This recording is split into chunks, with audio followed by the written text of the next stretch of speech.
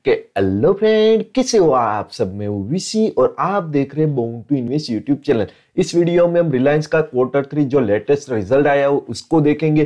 कैसे इसके रिज़ल्ट है वो देखेंगे और हम देखेंगे आगे इसमें क्या रणनीति हो सके, कौन से इसके सपोर्ट होंगे, कौन से इसके रजिस्टेंस होंगे। तो दोस्तों, अभी तक आपने हमारे इस चैनल को सब्सक्राइब नहीं किया तो सब्सक्राइब ज़रूर कर लीजिए, क्योंकि हम ऐसे वीडियो हर रोज हर दिन लेते आते और जो बाजू में घंटे वाला बटन है, उसे ज़रूर दबा दीजिए, जिसको आपको हमारी नोटिफिकेशन सबसे पहले मिल जाए। पहले हम इस कंपनी के फंडामेंटल देख ले रहे गुड क्वालिटी की ये कंपनी एक good quality buy management risk growth and capital structure for long term investment आप इसकी सेल्स देख रहे हो तो 6.62 परसेंट की इसकी सेल्स है। बाद में net debt to equity ratio देख लेते तो net debt to equity ratio 0.48 है। बाद में प्लेज प्रमोटर होल्डिंग देख लेते हैं। प्लेज प्रमोटर होल्डिंग ज़ीरो है। मतलब ये भी एक अच्छी बात है कंपनी के लिए। अभी हम इस कंपनी के वैल्यूएशन के बारे में बात कर लेते तो फेयर वैल्यूएशन पे अभी ये ट्रेड कर रहा है। आप इसकी पी रेशियो देखोगे तो 23.87 है। बाद में इबिट टू इबिटा रेशियो देख लेते तो इबिट टू इबिटा रेशियो 13.70 है। ROC देख लेते तो 11.24 है और बाद में आर देखते तो आर 10.36 परसेंट है। मतलब हमें फंडामेंटली ये कंपनी अच्छी लग रही है। अभी हम इसके फाइनेंशियल के बारे में बात करेंगे। मतलब जो लेटेस्ट रिज़ल्ट आए हैं उसके बारे में।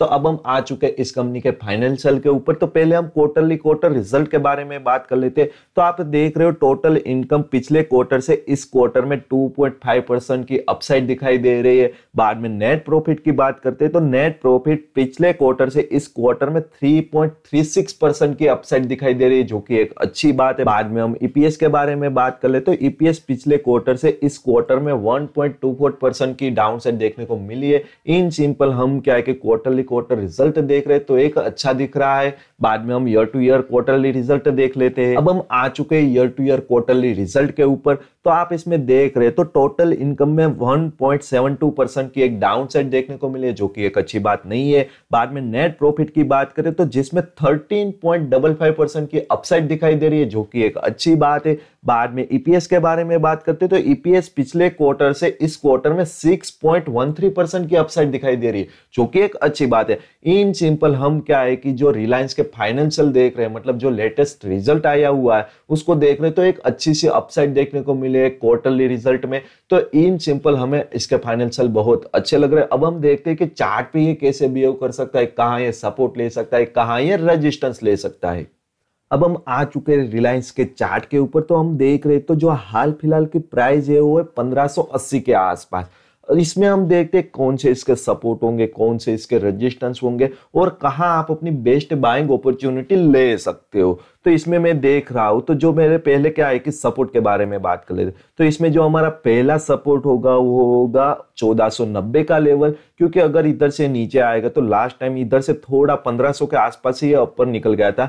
लेकिन मैं थोड़ा नीचे रखूँगा, इसको 1490 का लेवल है, वो मेरा फ़र्स्ट सपोर्ट होगा। बाद में अगर ये इसको भी ब्रेक करके नीचे आ जाता है तो जो हमारा दूसरा सपोर्ट होगा, वो होगा ये राइजिंग ब्लू कलर की राइजिंग सपोर्ट लाइन ये मैंने कहाँ से ड्रॉ किया? तो ये मैंने यहाँ दो पॉइंट ज्वाइंट करके ये बनाई है। तो इन फ्यूचर अगर ये नीचे आता है तो मैं यहाँ पे बाइंग करना प्रीफर करूँगा मतलब ये राइजिंग सपोर्ट लाइन पे। अगर ये इसको भी ब्रेक करके नीचे आता है तो जो इसके थोड़ा ही नीचे हमारा होगा, दूसरा सपोर्ट जो होगा 1420 का लेवल अगर ये इधर भी आपको मिलता है इन फ्यूचर तो आप इधर भी अपनी बाइंग ऑप्शन बना सकते हो। तो ये हो गए हमारे सपोर्ट रिलायंस में।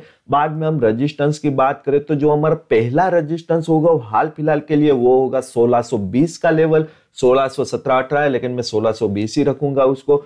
तो अगर ये 1620 को लेवल को टच करके कोई नीचे जाने का साइन देता है, तब भी आप इसमें सेलिंग में आ सकते हो। लेकिन अगर ये इसको भी ब्रेक करके ऊपर चला गया तो बाद में जो हमारा नेक्स्ट क्या होगा, रेजिस्टेंस होगा, वो क्या होगा, ये ब्लू कलर की लाइन होगी, जो होगी राइजिंग रजिस्टर्स लाइन अगर ये लाइन पे भी आपको कोई नीचे जाने का सिग्नल देता है, तब भी आप इसमें क्या है कि सेलिंग कर सकते हो या अपनी पोजीशन एग्जिट कर सकते हो। नेक्स्ट जो रजिस्टेंस होगा, वो कौन सा होगा? रजिस्टेंस या टारगेट कोई भी बोलो, वो होगा 1690 का लेवल क्योंकि ये देखो, एक मैंने फिबोनाची रेशियो से निकाले तो मैं उसको बाद में आपको बताऊँगा कौन से ये फिबोनाची रेशियो और कौन सा मैंने पार्ट यूज़ किया है। तो अगर इसको भी ये ब्रेक करके ऊपर चला जाता है तो जो हमारा नेक्स्ट रेजिस्टेंस होगा, वो होगा 1738 का लेवल ये दोनों एक ही फिबोनाची रेशियो से है मतलब एक ही मतलब एक ही पार्ट के फिबोनाची रेशियो से, इसीलिए मैंने इसको रेड बनाया है. अगर इसको भी ये ब्रेक करके ऊपर चला गया तो जो हमारा लास्ट एंड आखिरी मेरी ओर से टारगेट होगा, वो कौन सा होगा? वो होगा 1815 का लेवल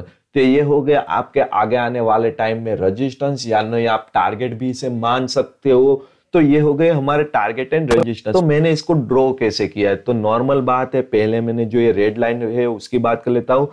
तो मैंने यहाँ से लेके यहाँ तक क्या है कि फिबोनाची रिट्रेसमेंट लगाया है। तो उसमें से 138 का ये पहली लाइन आ रही है 161 की ये दूसरी लाइन आ रही है। तो ये मेरे पहले टारगेट रख सकता हूँ मैं मतलब फ़र्स्ट ये टारगेट रहेगा सेकंड ये। और जो ये ब्लू जो आखिरी 1815 का लेवल वो कैसे लिया है? तो ये मैंने जो अखा स्विंग था, पूरा स्विंग था, उसका लिया है। उसका वो 138 परसेंट रिट्रेसमेंट वहाँ आ रहा। है तो ये हो गया हमारे रिलायंस में टारगेट कहाँ आपको एग्जिट करना चाहिए। अगर ये ऊपर जाता है, कौन से इसके रजिस्टेंस और ऐसे ही नहीं होता कि वहाँ जाके आप एग्जिट कर दो। अगर वहाँ कोई रिवर्सल साइन दे रहा है, तब आपको एग्जिट करना होता है। तो ये हो गए मेरी ओर से रिलायंस में टारगेट एंड सपोर्ट कहाँ आपको सपोर्ट मिल सकता है। इन फ्यूचर में अगर मेरे को बाई करना है तो मैं कहा करूँगा? या तो मैं 1600 का लेवल का वेट करूँगा? प्रॉपर तरीके से अगर ये अपसाइड जाता है प्रॉपर तरीके से अगर ये ब्रेक करके ऊपर निकल जाता है, तब मैं बाय करूँगा, या तो मैं वेट करूँगा नीचे की ओर, या तो ये 1450 या 1420 के आसपास से कोई अपसाइड देखे। मैं 1450 क्योंकि शायद हो सकता है ये नीचे आए, और ये क्या है कि राइजिंग सपोर्ट लाइन 1450 के आजू बाजू आए। इसीलिए मैं 1450 से लेकर 1420 तक रख रहा हूँ। तो ये हो गई मेरी best buying opportunity long term के लिए। और मैं वहाँ ऐसे ही नहीं बाय कर लेता वहाँ मेरे को कोई प्रॉपर रिवर्सल सिग्नल मिलता है, तब मैं बाय करता हूँ। तो आपको भी देखना पड़ेगा कि आपको कैसे पता चलेगा कि वो वहाँ रिवर्सल सिग्नल तो आपको थोड़ा सा कैंडस्टिक पैटर्न चार्ट पैटर्न वो सब समझना पड़ेगा। उसके बाद आपको ऑटोमेटिकली पता चल जाएगा कि कहाँ ये रिवर्सल ले रहा है, वो सब। तो दोस्तों, ये था हमारी ओर से छोटा सा वीडियो रिलायंस के रिज़ल्ट और चार्ट के ऊपर। अगर ये वीडियो आपको कहीं से भी अच्छी लगी हो तो प्लीज़ यारो लाइक कमेंट एंड सब्सक्राइब कर देना। आप लाइक कमेंट करोगे, तभी तो हमें मोटिवेशन मिलेगा और ऐसे वीडियो आगे लेके आएँगे। सो प्लीज़ यारो लाइक कमेंट एंड सब्सक्राइब कर देना। चलिए मिलते हैं अपने नेक्स्ट वीडियो में। तब तक के लिए टाटा गुड बाय जय हिंद।